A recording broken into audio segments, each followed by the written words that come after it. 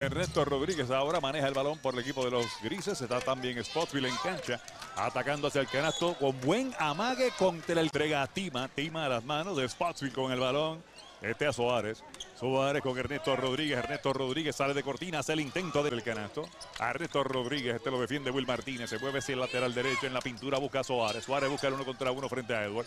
Atacándolo, confronta problemas, insiste contra el cristal. Brown, restando nueve para actuar, restando 10 en el parcial. Luis Rivera sacando atrás la tierra Ernesto Rodríguez que está consciente, le quedan solamente tres segundos, tiene que atacar, hace el intento de tres, ahí va eso.